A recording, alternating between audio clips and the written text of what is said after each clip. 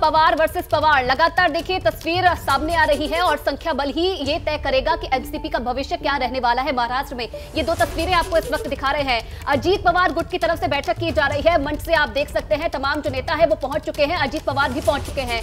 दूसरी तरफ़ तस्वीर में आप देख रहे हैं, शरद पवार गुट की तरफ़ से बैठक बुलाई गई है, जिसमें अभी अपडेट ये मिल रहा है कि शरद पवार बैठक के लिए निकल चुके हैं और कुछ ही देर बाद मंच पर मौजूद रहेंगे शरद पवार। लेकिन नंबर गेम किसके साथ जाता है? जिस संख्या बल का दावा किया जा रहा था, वो संख्या बल आखिरकार किसके पास है, ये देखना दिलचस्प रहेगा। रौनक लगातार अपडेट हमें दे रहे हैं। अजीत गुट की जहाँ पर बैठक चल रही है, वहाँ पर रौनक मौजूद है। रौनक, क्या अपडेट मिल रहा है? क्या विधायकों की संख्या बड़ी है? क्या जानकारी?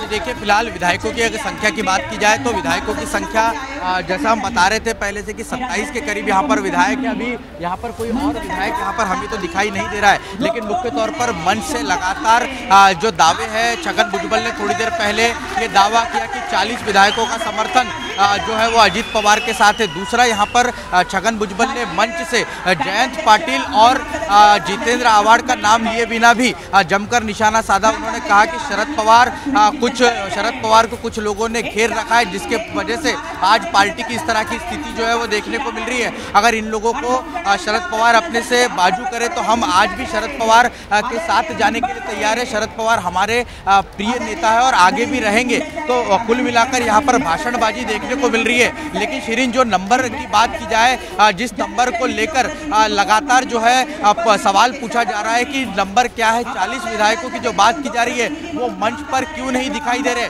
जो जवाब छगन भुजबल की तरफ़ से दिया जा रहा है कि छगन भुजबल ये कह रहे हैं कि कुछ लोग जो है वो आ, अभी फ़िलहाल यहाँ पर नहीं पहुँचे हैं। ट्रैफ़िक में फंसे हुए कुछ लोग। विदेश विधायक गए हुए हैं लेकिन उनका समर्थन अजीत पवार पर के पास है। अगर उनका समर्थन अजीत पवार के पास है तो दावा लेकिन दावा अभी मंच पर सच साबित होता हुआ नहीं दिखाई दे रहा है। आप ये बता रहे हैं कि आप वहीं पर मौजूद हैं और आप ये कह रहे हैं कि 40 विधायकों का दावा लेकिन अभी मंच पर उतनी संख्या दिखाई वहाँ पर नहीं दे रही है। जैसे ही घड़ी का काटा दोपहर ढाई पे आए बबीता जी का दिल सास बहू साजिश के लिए मचल जाए। और ये है इनकी बहू।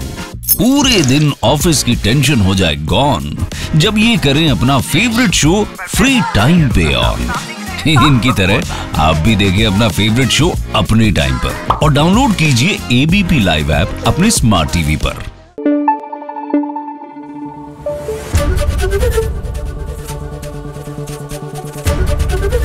एबीपी न्यूज़ आपको रखे आगे।